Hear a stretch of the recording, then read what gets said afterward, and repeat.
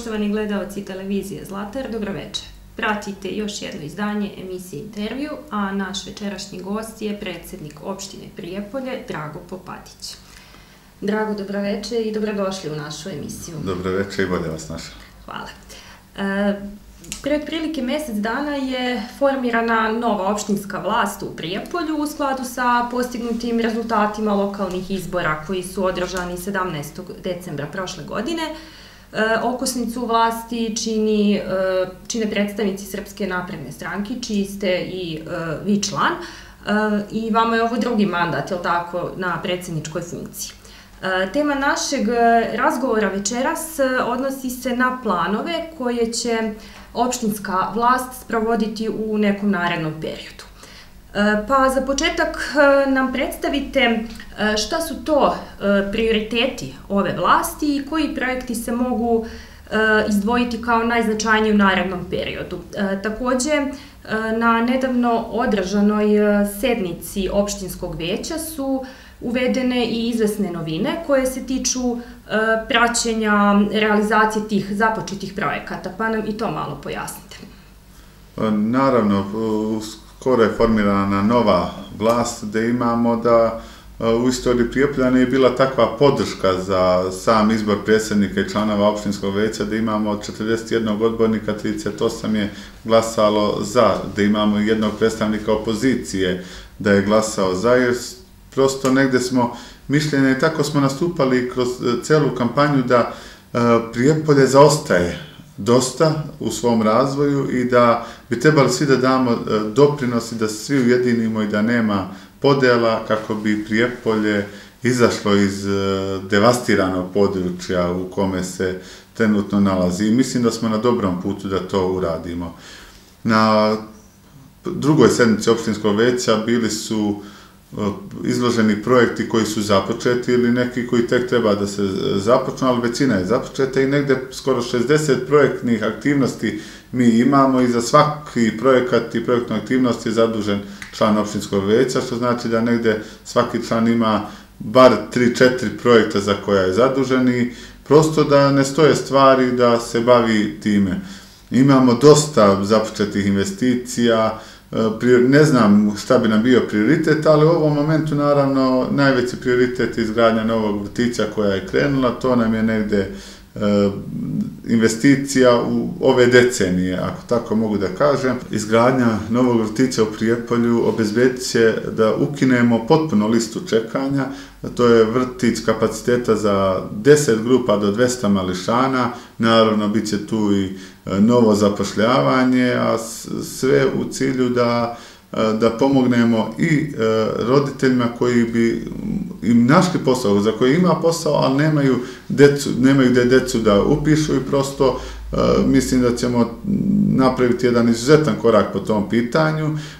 I dobro je što imamo potrebu da gradimo vrti, s druge strane svedoci smo prošle godine da smo opremali gde god smo imali slobodnu prostoriju u vrtiću, e, opremali smo i opet se ta lista čekanja pojavila, sa izgradnjom novog vrtića ćemo ukinuti tu listu, a moram da napomenem da je prošla godina e, da istorijska što se tiče ulaganja u preškolsko vaspitanje. Mi smo svaki vrtić e, unutra opremali, e, e, zatim smo kod e, dva vrtića potpuno novo, novo krenuli izgradnju potpuno novog ambijenta okolo vrtića, za jedan smo dobili kod Ministarstva za demografska pitanja sredstva iznosa od 5 miliona i 900 i tu čekujemo ovih dana potpisivanje ugovor, za drugi vrtić smo obezbedili sredstva iz sobstvenog budžeta i mislim da ćemo dosta pomoći preškolsko vaspitanje i naravno moramo posle da se nadovežemo i na, e, na osnovne škole gde imamo e, gde smo nominovani kod Ministarstva za javna ulaganja za dve škole se potpuno rekonstruišu i mi smo pri kraju dokumentaciju za jednu školu, druga, e, za drugu školu je dokumentaciju u toku i nadamo se da ćemo sljedeće godine krenuti u rekonstrukciju, potpunu rekonstrukciju dve najveće osnovne škole u Prijepolju. Naravno, mi moramo se bavimo i parkiranjem, moramo se bavimo i toplanom, jer nam je grejanje stvara velike probleme, e, azilom za pse i mnogo, mnogo drugih stvari. Stvarno ne znam, e, ne bi mogao da izvojim posebno jedan projekat koji nam je bitan. Eh, kada govorimo o infrastrukturnim projektima, vi, mi svakako možemo pomenuti neke bitne projekte koji se tiču izgradnje puteva, znači kako onih započeti, kao što ste rekli, tako i oni koji su tek eh, u planu da se prave. Eh, konkretno mislim na put do Kamene gore i do Sopotnice, ali i put koji vodi od Mileševe do Vodene Poljane. Koliko će izgradnja tih novih E, odnosno novih starih saobraćajnica, zapravo uticati na razvoj turizma Prijepolja, ali i okoline. Nama je turizam u planu i programu razvoja opštine e, među prioritetima sa poljoprivredom, tako da ka tome moramo da težimo. E, država nikad nije više bila prisutna nego u ovom momentu kada je putna infrastruktura, pa tako imamo put prema Kamenoj gori, put prema Sopotnici, put prema manastiru Milaševi, vrednosti nekdo oko milijardu dinara i naravno već se rade određena istraživanja na novoj trasi puta od manastira Miloševe do Vodene Poljane sa 6 metara, odnosno to će biti buduća pristupna saobraćajnica za brzu saobraćajnicu koja će ići na autoput. Ja mislim da će to država da krene vrlo brzo da radi kako Prijepolje ne bi ostalo u zaostatku kada se autoput izgradi. O, izgradnja svih ovih puteva, neki su izgradnja nekih je i odmakla, već je put prema Kamenoj gori završen, e, završena veća, veći deo deonice, ćete kako da znači za razvoj turizma, mi već imamo da su u svim tim selima povećana je e, prodaja placeva za izgradnju vikendica, cene su skočile, tako da to će sigurno krenuti da se razvija. Mi moramo naravno da E, to strategijski nastupamo i da radimo planove za sva ta područja i već sad imamo nacrt, naravno i plane i programa razvoja turizma gdje ćemo da se nadovežemo na tu izgradnju infrastrukture, ali moramo raditi planove detaljne regulacije za sva turistička mesta i naravno ne mogu da ne spomenem i da radimo i na Jabuci koja se nalazi već na magistralnom putu, jer ona je nekada bila preteča razvoja turizma u Prijepolju i moramo i tu da određenu infrastrukturu izgradimo vodovod i ostali sadržaji. A kada je put, u pitanju put prema Sopotnici, da li, su tu, da li su tu započeti radovi? Započeti su radovi i očekujemo da čim vremenski uslovi e, dozvole da će biti prva deonica od 2,5 km asfaltirana. Eh, na pomenutoj sednici opštinskog veća kao jedan prioritetan eh, projekat je izdvojen i eh, projekat uređenja stambenog bloka Stadion. Možete malo da nam pojasnite o čemu se tu zapravo radi? Kako će to izgledati? Mi imamo kompletnu urađenu dokumentaciju, ishodovano odobrenje za iste radove i imamo obećanje, sad već je to i bilo i na sam ministar Đelek je izjavio na e, televiziji da će oni da sufinanciraju taj projekat. Vrednost tog projekta je oko 64 miliona dinara. Obećanje ministra je da ćemo dobiti 42 miliona, ostatak ćemo iz e, sobstvenog budžeta izdvojiti. To je projekat e, uređenja stambenog kompleksa Blok Stadion, E, gde se planira i sportski tereni i dečija, deči kuci, ako tako mogu da kažem, e, kutak za stare, zelenilo potpuno novo i naravno nova parking mesta, što, sa čim se, e, problem, to je problem sa kojim se suočavamo. To će biti jedno potpuno ambientalno i uređeno E, naselje, blok, sta, blok, e, blok zgrada i mislim kada se nadovežemo uz put koji se rekonstruiše prema Manastiru Milešava, park koji smo prošle godine završili i stazu također koju smo dobili sredstva u iznosu od 55 miliona od Ministarstva turizma nizvodno od e, Miloševke, da ćemo jedan deo grada potpuno promeniti i to će biti jedan nov, novi modern deo grada. A gdje će tačno biti lokacija tog stambenog kompleksa? E, to je već izgrađen stambeni kompleks, samo se uređuje Aha. parterno uređenje oko stambenog kompleksa. Tu već ima deset zgrada, sada uglavnom je to e, i što ima e, propalo, zastarelo, da ga modernizujemo i da bude to naravno na, tu imamo oko 1200 stavnika koji žive samo u tom bloku. Jer mi smo, kao što sam već spomenuo, izgradili jedan, rekonstruisali potpuno park i e, on je preopterećen, nemamo dovoljno parkova za decu i sada ćemo da obezbedimo i kroz ovo parterno uređenje. A kada se planira završetak tih radova? Mi očekujemo da potpišemo ugovor o sufinanciranju sa ministarstvom ovih dana i ministar nam je rekao da će rok za to biti negde do kraja, najdelje do kraja godine.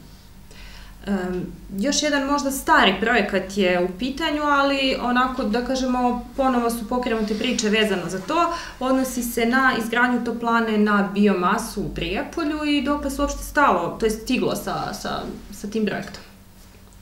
Um, mi smo prošle godine iskazali zainteresovanost za program Biomasa 2, E, koji je po meni malo povoljniji, jer je sada rezervno snadbevanje gasa, videli smo da je predsjednik Aleksandar Vučić najavio da će gas ovo preko Priboja Nove Varoši do Prijepolja, e, dok je ranije u bio, programu Biomasa 1 rezervno snadbevanje bilo mazut, što, nije, što je iskuplje, a i svakako za zaštitu životne sredine e, nije povoljno. Tako da smo mi iskazali zainteresovano sada je na ministarstvu i Čekujemo čim se formira vlada da ćemo dobiti potvrdu da učestvujemo u programu Biomasa 2 i na taj način da regulišemo, regulišemo problem grejanja u Prijepolju i također taj e, program Biomasa 2 povoljni jer e, za nedovoljno razvijena e, područja je 50%, do 50% može da bude nepovratno. A da li će tim projektom, to jest izgradnjom te nove toplane, biti obuhvaćeno celo Prijepolje ili samo određeni deo.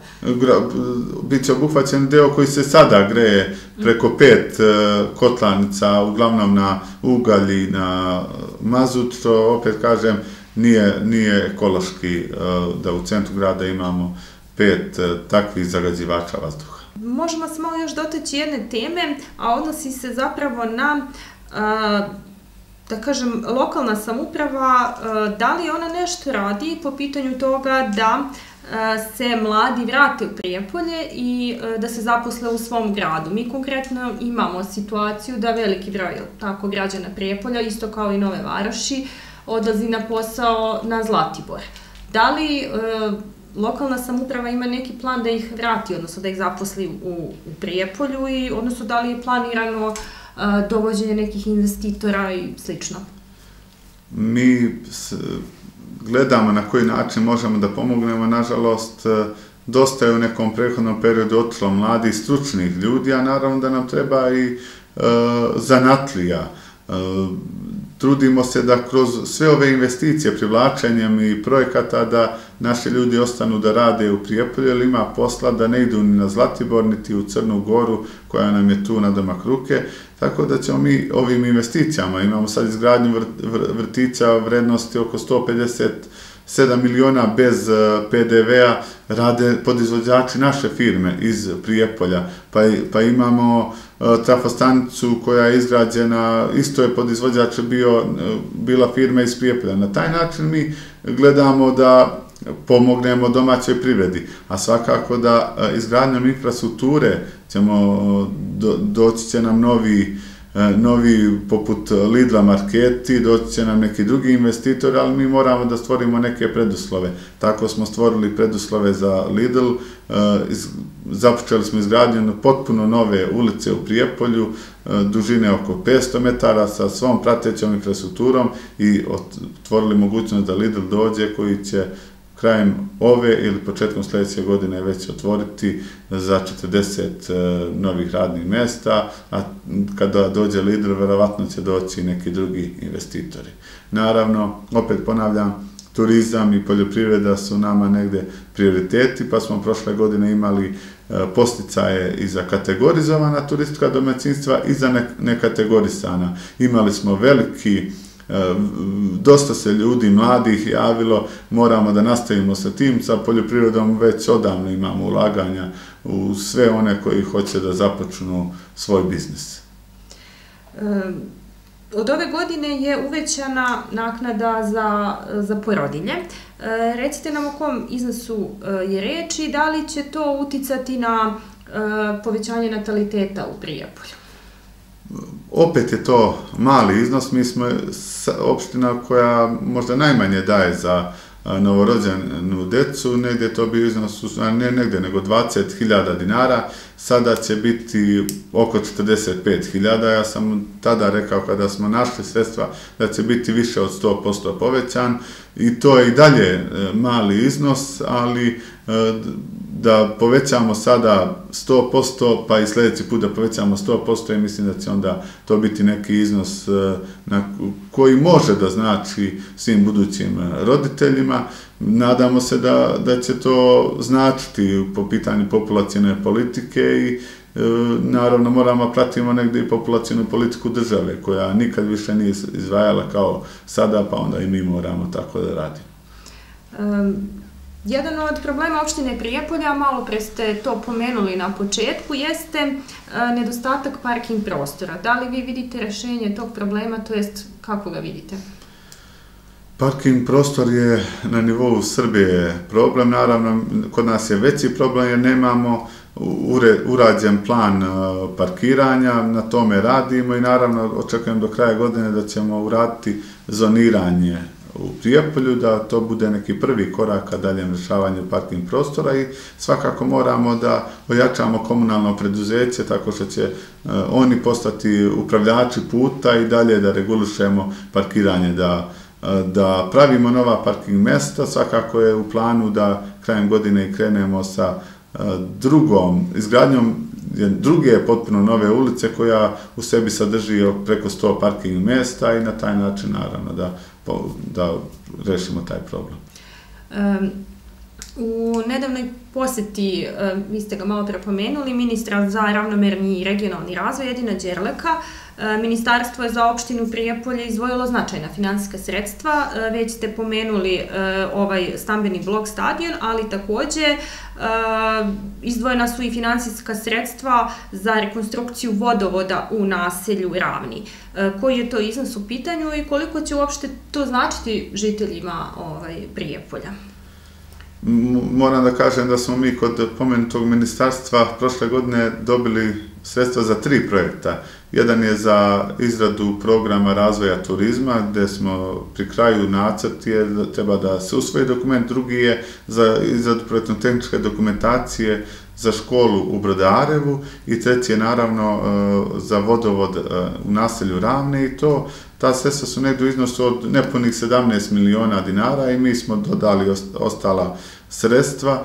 E, Nije to samo bitno za uh, stanovnike Ravana, već za cijelu opštinu, jer mi, uh, nažalost, u budžetu opštine Prijepolje već deset godina imamo odvojena sredstva za pet vodovoda, uh, nijedan se nije radio, kada smo dobili ova sredstva, rekli smo, ajde da krenemo sa prvim, koji nam je prioritetan, da imamo preko 200 domaćinstava, da se priključe na vodovodnu mrežu, a onda da krenemo dalje sa ostalim vodovodima i već ove godine ćemo iz sobstvenih sredstava raspisati još za dva vodovoda za izvođenje radova.